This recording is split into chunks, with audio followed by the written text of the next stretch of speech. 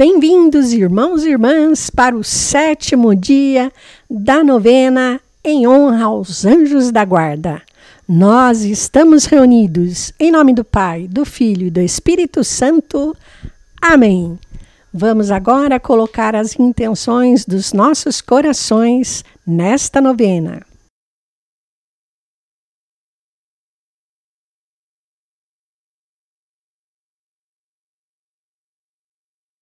Oração.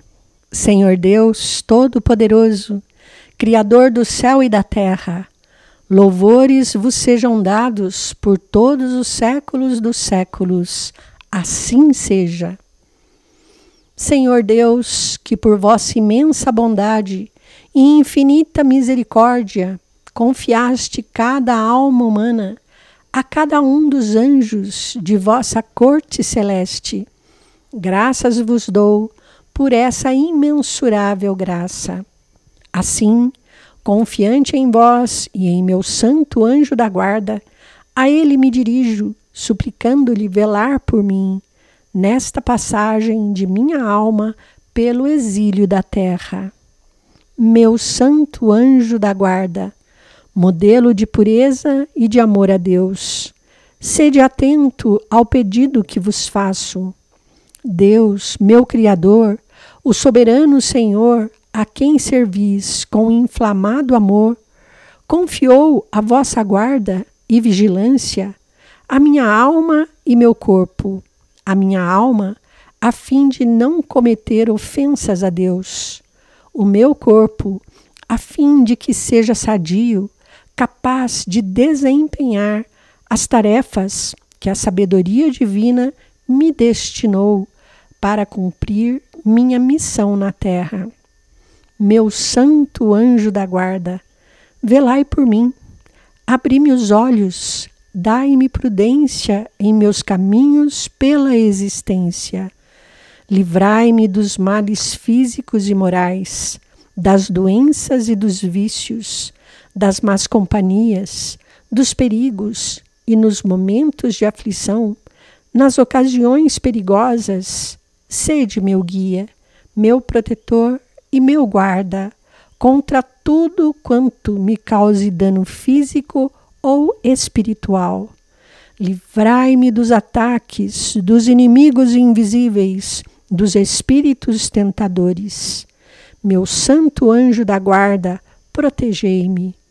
Pai nosso que estais no céu, santificado seja o vosso nome. Venha a nós o vosso reino Seja feita a vossa vontade, assim na terra como no céu. O pão nosso de cada dia nos dai hoje. Perdoai as nossas ofensas, assim como nós perdoamos a quem nos tem ofendido. E não nos deixeis cair em tentação, mas livrai-nos do mal. Amém. Ave Maria, cheia de graça, o Senhor é convosco.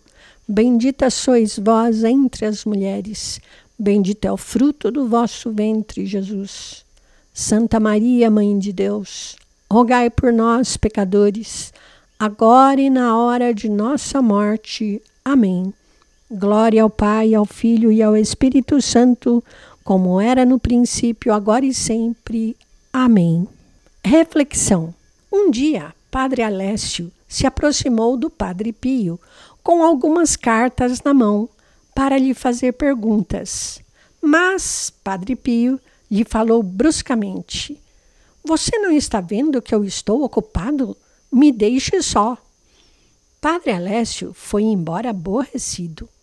Padre Pio, vendo como Padre Alessio ficara, correu atrás dele e lhe disse: Você não viu quantos anjos estavam perto de mim? Eles eram os anjos da guarda de minhas crianças espirituais, que vieram trazer as mensagens deles para mim. Eu tinha que lhes dar respostas, informá-las. No Evangelho de São Lucas, lemos: E eis que se apresentou junto deles um anjo do Senhor, e a claridade de Deus os cercou de refulgente luz, e tiveram grande temor.